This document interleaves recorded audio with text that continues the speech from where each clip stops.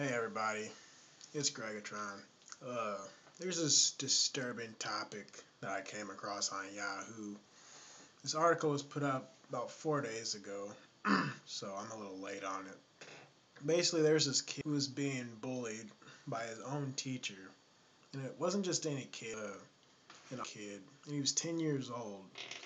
Uh, was in New Jersey at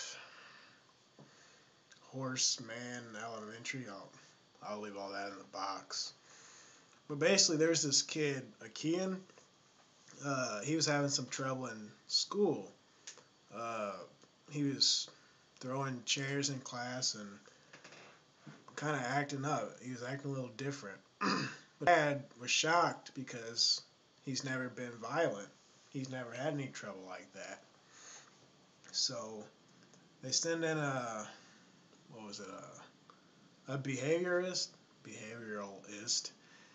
They sent one of those people in and there was really nothing wrong with him. He was doing fine. And uh, the teacher i guess was pushing him to to you know act up but he was fine. There was nothing wrong with him. So it's still a mystery at that point. And the dad gets to the point where he's so curious, he figures why not just record it. So I when I when I read that he recorded, I thought he you know put a hidden camera in the class, but no, he put a wire. He put a wire on this kid on a key to find all these horrible, nasty things from the teacher and the teacher aide. Some pretty terrible stuff. Some pretty disgusting things. Uh, they're just inappropriate in general. Just terrible, man. I remember I watched the video as well.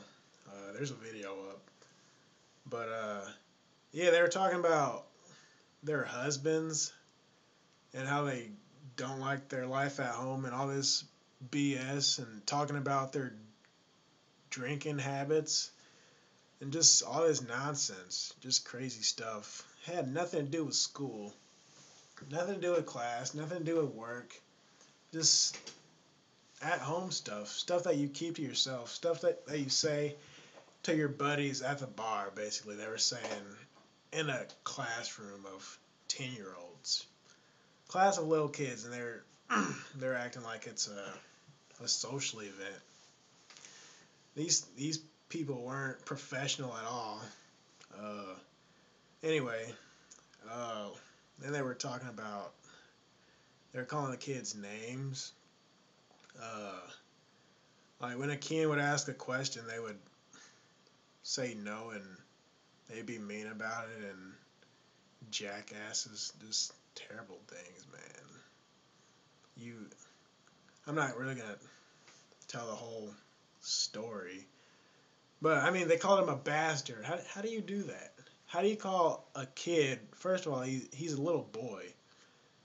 And second of all, he's autistic. How can you call a little boy a, a bastard for asking a question? These I can't even call these these people women because I have no respect for people like that. That's what I call a bitch. They're bitches. And the dad was such a humble person. I watched him in his video.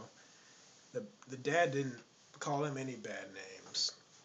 But man, if that was me, man, I I want to slap somebody, man. Uh, the lady didn't even get fired or the aide, which is ridiculous. They're still teaching. I don't know if she's still at that school, but she still works there. That's that's awful. Uh, calling the kid bastard, talking about drugs. Talking about your husband, nobody gave a shit. Just being unprofessional.